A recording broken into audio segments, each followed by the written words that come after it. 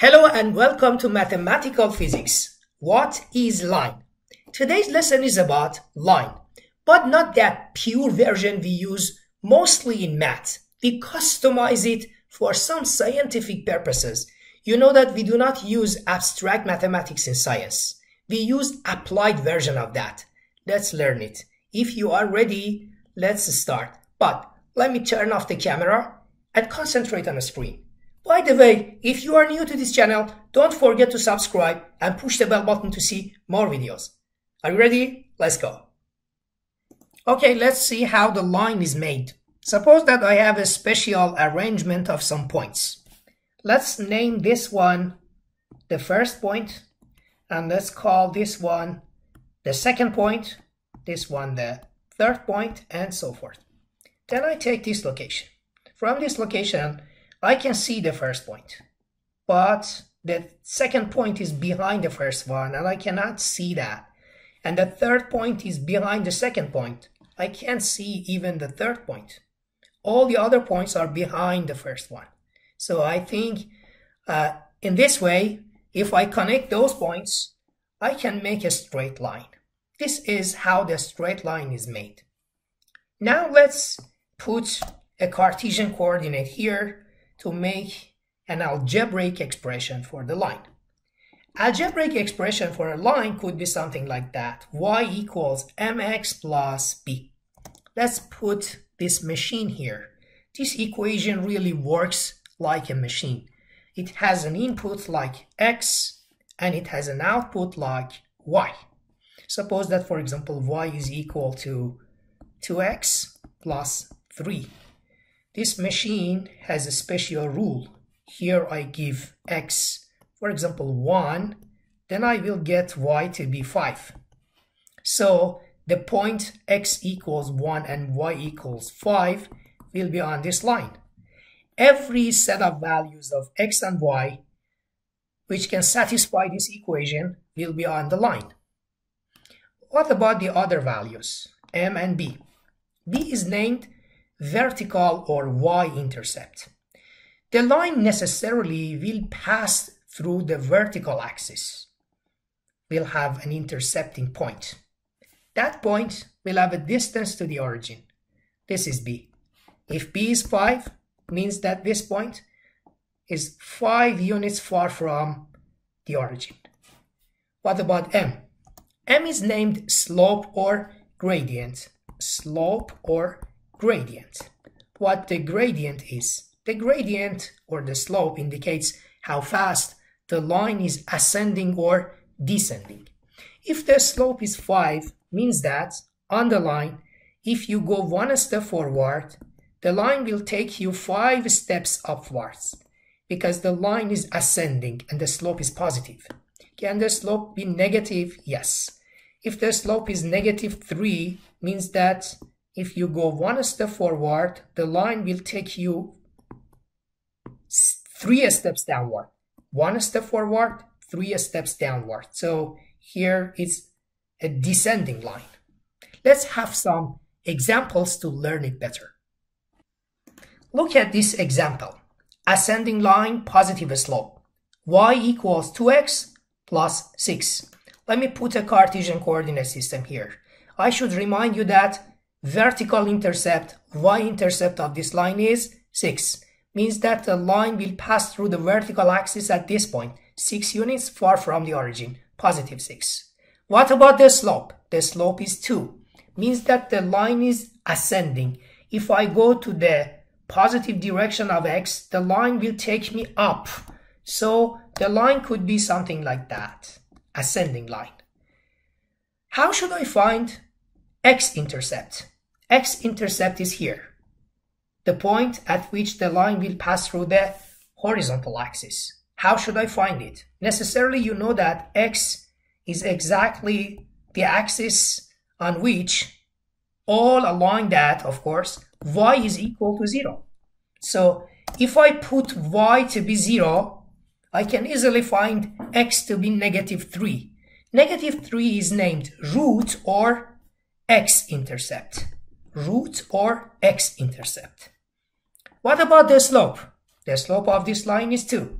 means that if I put a right triangle here as the hypotenuse of that triangle is attached to the line and if I go one step to the right the line will take me two steps upwards or if I go x steps to the right I will go 2x steps upward. All along the line the slope will be the same. The gradient of the line will not change. Another example.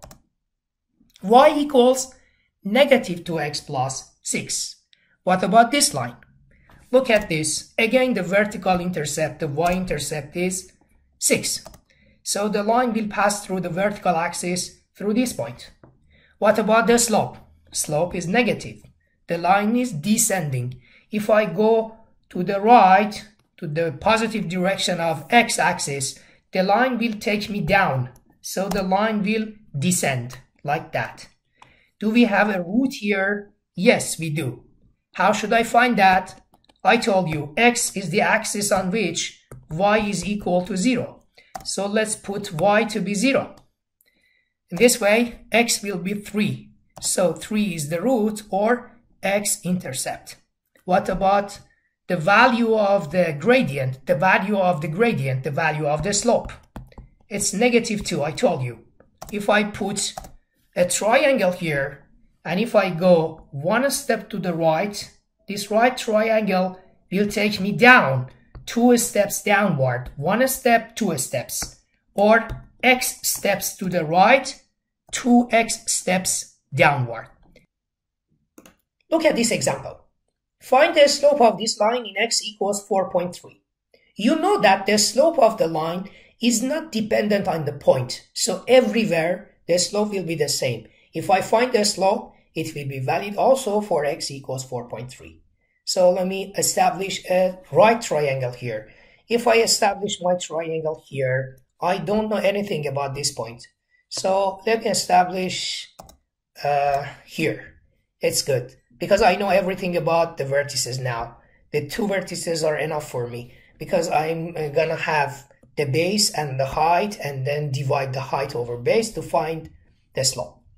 The um, horizontal axis indicates from here to here is 15, so it's 15.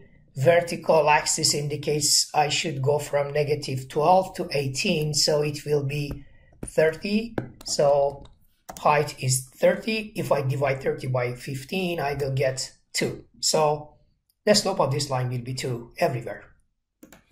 Find the x-intercept of this line if the slope is 3. You know that x-intercept means root. So I'm going to find this point. General approach for the root is putting the equation equals to 0. Then I will find x. But the problem is that I don't know anything about the equation. What should I do now? I should go for a slope. Let me establish a triangle here. And this triangle have, will have the slope of 3. Means that height over base will be 3. So Base will be one third of the height. Height is 18, so one third of 18 will be 6. Here I think the root will be 6 and the answer is 6. Find the y-intercept of this line if the slope is negative 4. Y-intercept is here. I'm looking for this point. Let me establish a triangle again. And uh, I confirm that the absolute value of the slope is 4. Absolute value is enough for me. So height over base will be 4. Base is 3, so height will be 4 times 3. Height will be 4 times bigger than the base. 4 times 3 will be 12. So the vertical intercept is 12. Parallel lines. Suppose that the equation of a line is given to be y equals 2x. So it's a line, ascending line with a slope of 2 with no y-intercept. It will pass through the origin. If I give you another equation like y equals 2x plus 3, we will have the same slope but with different y-intercept. So it will have a y-intercept of 3 but with the same slope. Seems that the increase of two lines is the same. So they are parallel. Another equation could be y equals 2x minus 3. It will have the y-intercept of negative 3, but as you see, still I have the same slope. So when the slope of the lines are the same, I can confirm that they are parallel. Forget about the vertical shift or the vertical intercept. Proportional versus linear relation. Suppose that I have an equation like y equals 3x. Here, if I multiply x by 2, I can say simultaneously I have multiplied y by 2 also. Here I say y is proportional to x. y is proportional to x with this sign of alpha.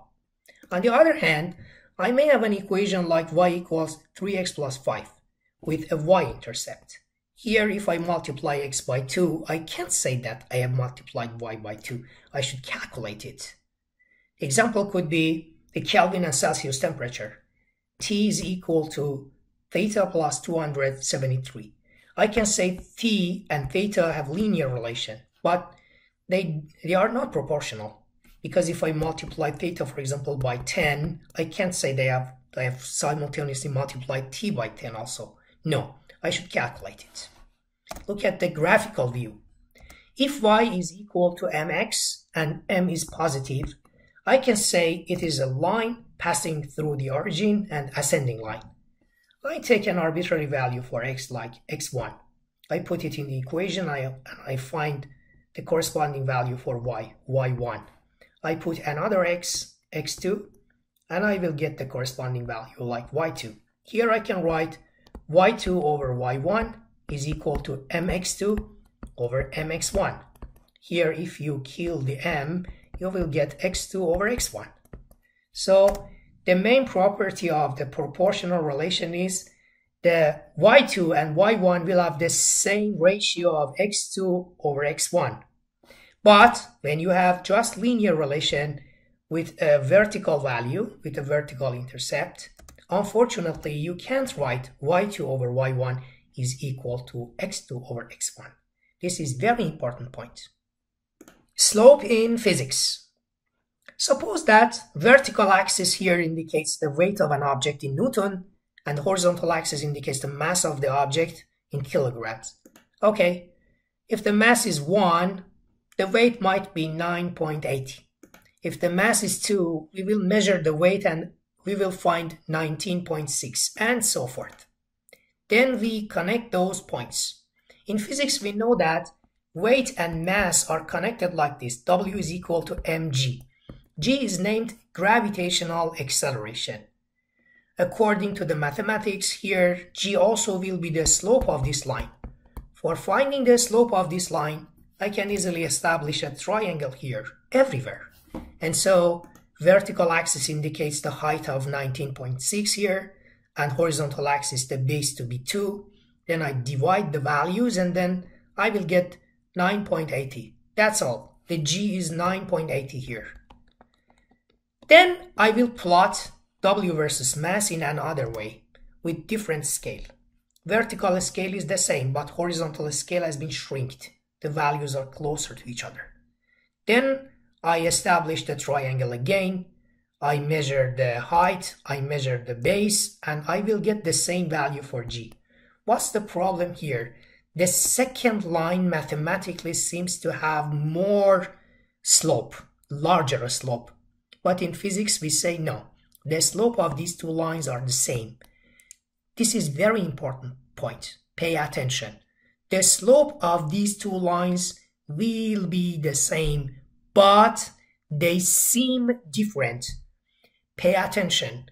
In mathematics, when we draw y versus x, y and x will have the same scale, will have the same nature, but the nature of weight and the nature of mass are different. So you can take any arbitrary scale for horizontal axis and the other one for vertical axis.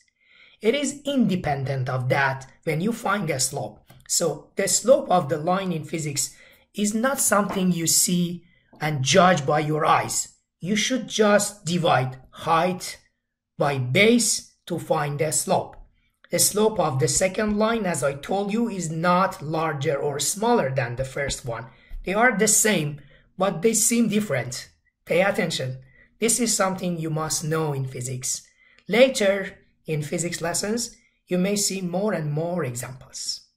Okay, hope you enjoyed this lesson. If you liked it, give me a like.